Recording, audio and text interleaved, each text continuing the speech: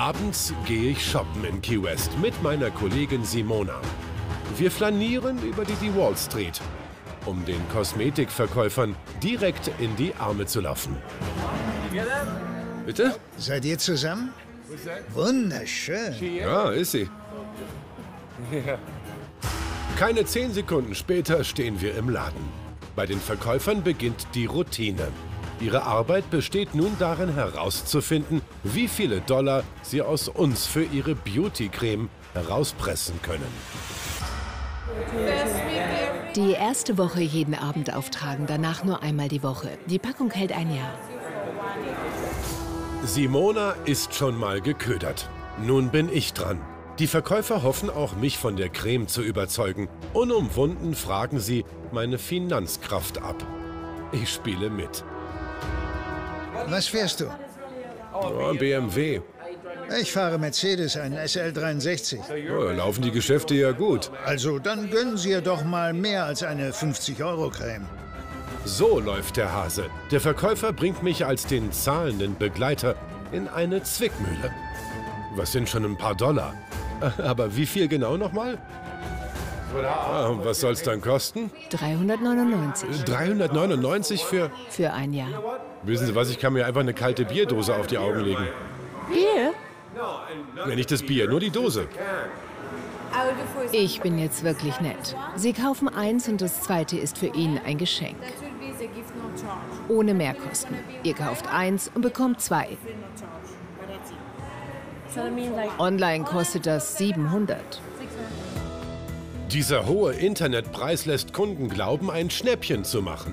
Bei dieser Creme sei er wegen einer speziellen Zutat gerechtfertigt, sagt die Verkäuferin. Sie sagt, da ist Gold drin. Deswegen soll es so teuer sein. Ja, ja, Gold. Da ist Gold drin? Ja, Für 399? Mann, das ist doch immer noch verdammt viel Geld. das ist das beste Produkt auf dem Markt. Die beiden merken, dass ich nicht bereit bin, so viel Geld auf den Tisch zu legen. Aber ohne ein Geschäft wollen sie mich nicht gehen lassen. Der Mann unterbreitet mir ein letztes Angebot. Was steht da? 2,49? 650 Euro war der Onlinepreis. 370 wollten Sie haben. Jetzt gehen Sie auf 230 runter. Ich kaufe, aber nur um das Zeug einer Hautärztin zu zeigen. Bevor ich den Laden verlassen darf, muss ich ein Dokument unterschreiben. Unser Schicksal ist besiegelt, das Geld ist weg, vorbei, aus, Ende. Nach rund 40 Minuten sind wir wieder draußen. Und irgendwie bin ich ganz froh. Was sind die aggressiv, was sind die pushy? Ich drehe diese Sendung seit fünf Jahren, aber so, eine, so ein dreistes Verkaufen, so ein dreistes Draufspringen auf den Kunden, so ein aggressives Marketing habe ich noch nie erlebt. Ich bin über 200 Euro losgeworden. Ich glaube wirklich für ein bisschen Bodylotion, fast 300. Und ich werde der Sache da ein Ende setzen müssen. Weil jeder Tourist, der da reinläuft, der ist das Geld los. Wofür genau bezahle ich so viel? Ist die Kosmetik so viel Geld wert? Da frage ich die Hautärztin Dr. Uta Schlossberger. Über die Inhaltsstoffe und Preise habe ich sie vorher informiert. Was ist denn da drin? Irgendwas Magisches? Ja, Gurke, Tonerde, dann haben wir mehrere Konservierungsstoffe und Bindemittel.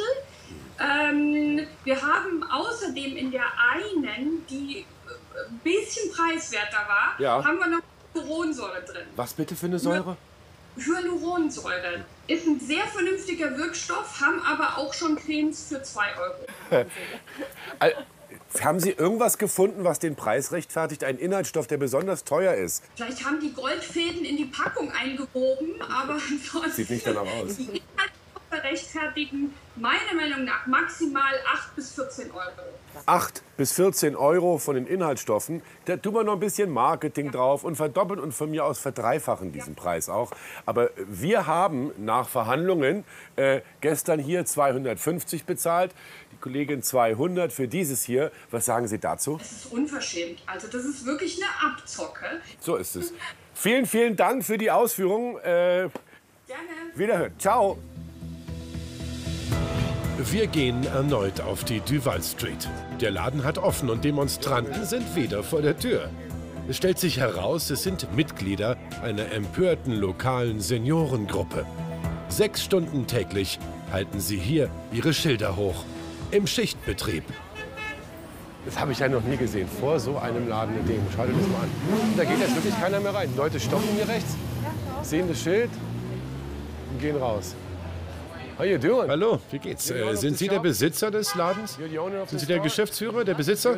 Ich bin? Peter, My name's Peter. arbeite fürs deutsche Fernsehen. Hallo. German TV. Hi. Okay, Wir recherchieren für meine Sendung über guten und schlechten Tourismus. okay. Und wir haben bei Ihnen ein paar Erfahrungen gemacht. Und ich glaube, das, was Sie hier machen, ist gegen örtliche Gesetze. Warum? Weil Sie gegen ein paar Gesetze verstoßen haben. Erst gestern Abend, als wir hier waren. Sie haben uns nicht vorschriftsmäßig informiert. Wissen Sie was, ich bin Deutscher, kenne mich mit den Gesetzen hier nicht aus, ich mache sie ja nicht. Aber was ich glaube, das hier ist eine Abzocke. Wollen wir drinnen sprechen? Bitte? Wir können uns drinnen unterhalten. Und mir wäre draußen lieber.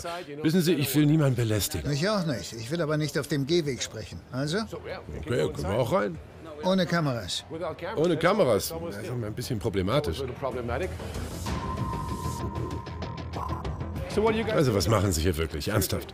Machen Sie die Kameras aus. Äh, machen wir nicht. Ausgestrahlt wird es ja ohnehin. Wenn Sie nicht wollen, dann muss ich Sie bitten zu gehen. Ich rede nur ohne Kamera. Na, geht doch mit der Kamera bitte ein bisschen weg, okay? So viel Offenheit überrascht mich ja schon fast. So, was machen Sie hier? Das ist doch eine riesige Abzocke. Warum? Weil Sie die Produkte total überpreisen. Ich muss Sie bitten zu gehen, sonst hole ich die Cops. Sie holen die Polizei? Gern, nur zu. Ich muss... Sie haben mich doch reingebeten. Bitte verlassen Sie mein Geschäft. Okay, okay, aber Sie haben mich reingebeten, das wissen Sie. Es ist kein Problem, smart zu Kein sein. Problem, smart zu sein, aber es ist ein Problem, betrügerisch zu sein und Leute abzuzocken. Das ist es nicht. Es ist eine Abzocke. Bitte verlassen Sie den Shop oder ich hole die Cops. Ich bleib gern draußen. Jetzt stehe ich auf der Straße. Aber gehen werde ich auch nicht. Also, mit uns sprechen will er nicht. Ich hätte ihm gerne erzählt, worum es hierbei geht. Aber wir müssen ja auch gar nicht viel machen. Für heute ist dieses Geschäft geschlossen. Da geht auch keiner mehr rein. So you gentlemen are really doing a Gentlemen, great job ihr macht einen tollen Job. Aber mal ganz im Ernst, haben die irgendwelche Argumente? Sie sagen, Sie haben keine Verstöße. Aber das haben wir doch gestern Abend bewiesen. Richtig. Die lügen einfach. Sie lügen. Ganz einfach, Sie lügen. Und es ist überteuert, das Zeug hier drin ist ziemlich wertlos, vielleicht 20 Dollar und nichts anderes als Creme aus der Drogerie. Ein deutsches TV-Team ist den Betreibern dann doch zu viel. Sie haben die Polizei gerufen. Der Officer nimmt mich zur Seite. Was ist hier los? Nichts von meiner Seite aus. Ich bin deutscher Journalist. Mein Team und ich berichten hier über Touristenfallen. Aha. Der Beamte kennt das Problem, bittet mich aber, den Laden nicht noch einmal zu betreten, sonst müsse er mich festnehmen. Es ist ja nicht das erste Mal äh, in unserer Sendung, dass wir von der Polizei einen Besuch bekommen. Es gibt ganz klare Regeln hier. Ich stelle mich jetzt hier zu den Herren rüber und genau hier darf ich stehen. Ich darf dort nicht rangehen und erst recht nicht reingehen. Das habe ich auch nicht vor. Also tue ich, was im Rahmen meiner Möglichkeiten ist. Ich warne deutsche Urlauber. Die Begeisterung bei den Bürgern von Key West ist ungebrochen. Jeder findet es klasse, dass die Senioren hier stehen und einfach mal Stopp sagen. Weil sowas verdirbt den Ruf dieses wunderschönen kleinen Städtchens für immer. Und das darf nicht geschehen. Dafür ist Key West viel zu schön.